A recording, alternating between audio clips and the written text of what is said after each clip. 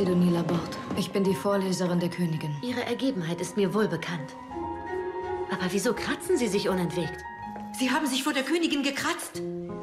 Haben Sie in sich je das Verlangen nach einer Frau gespürt, dass Ihre bloße Abwesenheit furchtbares Leid für Sie bedeutete? Ich glaube zu erraten, von wem ihr redet. Und ich beneide sie um die Leidenschaft dieser Liebe.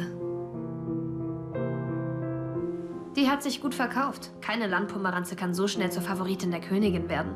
Sie ist eine Nutte, glaub mir.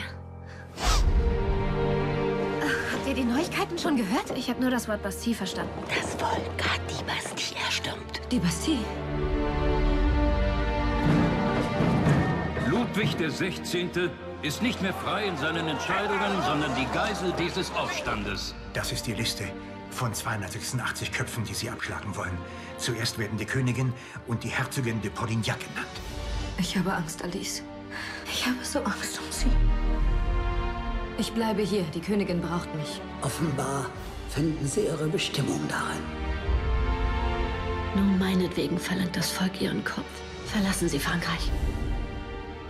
Lehnen Sie ab, was sie von Ihnen verlangt. Ein Wunsch der Königin niemals.